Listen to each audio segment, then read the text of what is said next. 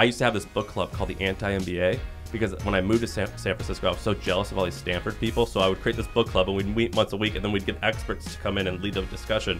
And I was like, we just did the same thing as, as Stanford. Of uh, course. you know how it is, like not coming from this area, it's really uncomfortable at first, but it's actually a, a uh, advantage in the end, I think. A hundred thousand percent.